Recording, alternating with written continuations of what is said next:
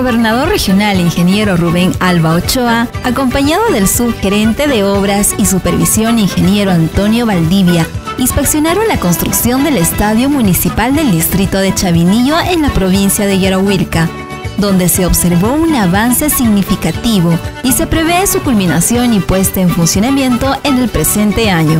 Sí, efectivamente, el día de hoy, eh, lunes 9 de abril, estamos desde muy temprano haciendo inspección al estadio de la ciudad de Chavinillo. Toda vez de que en este periodo de lluvias no es posible hacer eh, trabajos de manera que ya están en un momento de culminación del periodo de lluvias, estamos anticipándonos para que se haga un buen planeamiento de la obra. Esta pueda ser muy bien planificada y pueda reiniciarse el trabajo con un buen ritmo hasta su culminación lo más rápido posible para que pueda entrar en servicio público en la provincia de Yarhuilca. Actualmente, la obra se encuentra en su etapa final, con los rellenos de los exteriores de las tribunas de Oriente y Occidente. Asimismo, la colocación de los gaviones para reforzar el talud en estos sectores.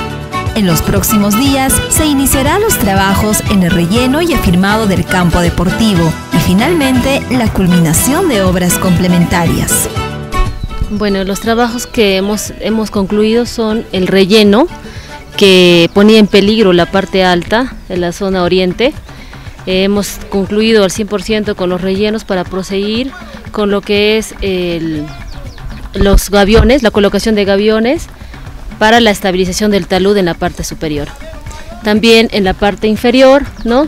Tenemos los rellenos para dejar a un solo nivel y poder ya empezar con el frente del, eh, del campo deportivo.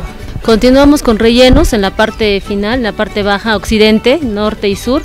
Vamos a terminar el relleno para, como te decía, empezar con el campo y eh, paralelamente este, vamos a comenzar con los trabajos eh, de acabados. La primera autoridad regional indicó que la obra se culminará en el presente año. Sí, definitivamente toda la parte estructural, toda la parte de tarrajeos, la parte de los rellenos, que es la, eh, la parte que estaba todavía eh, en una muy buena cantidad por ser ejecutada, ya ha sido prácticamente concluida. Está faltando eh, otras partidas para culminar el, el estadio y definitivamente en este año se da su culminación, puesta en servicio e inauguración de esta obra para toda la juventud, para todos los deportistas. Cabe señalar que la obra contará con dos tribunas, estabilización de talud campo deportivo, muro de contención, rampa de acceso exterior, mallas olímpicas, entre otros, y beneficiará a 6.721 pobladores.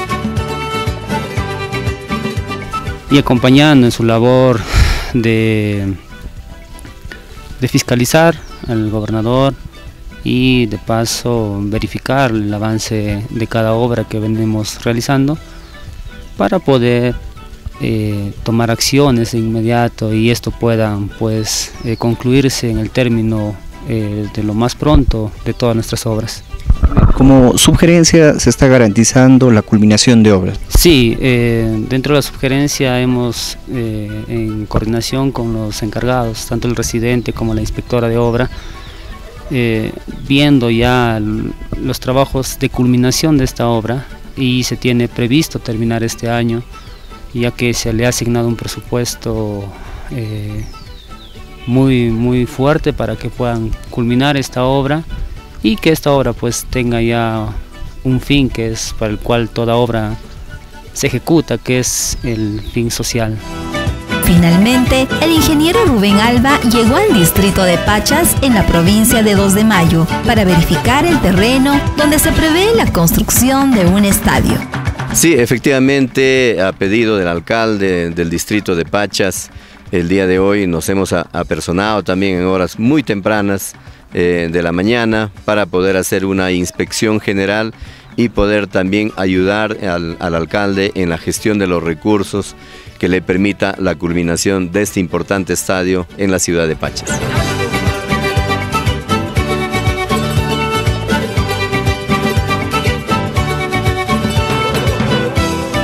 Sí, efectivamente, todas las obras eh, están en proceso de culminación, la gran mayoría de ellas, y este año también vamos a dar inicio a otras importantes obras como la vía colectora y las pistas y de San Luis, el puente Corpa en Tingo María, y esperemos que otras obras más se den inicio en nuestra gestión y se deje el financiamiento para que esta pueda ser totalmente concluida.